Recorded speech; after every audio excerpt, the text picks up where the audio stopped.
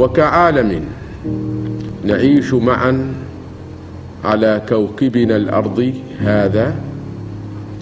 قد أهملنا كثيرا مسألة المحافظة على البيئة وموارد الطبيعة بغايات التنسيق الجماعي بل ذهبنا في اتجاه المعاكس في تسابق عجيب.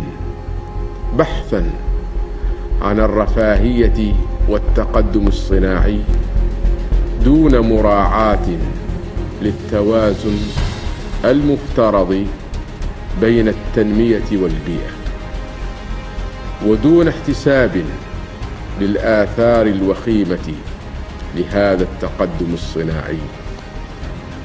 على غلافنا الجوي وطبقات الأوزون ومياه الأنهار والبحار وانقراض الحياة والغابات والتلوث وتلوث التربة الخصبة. وإذا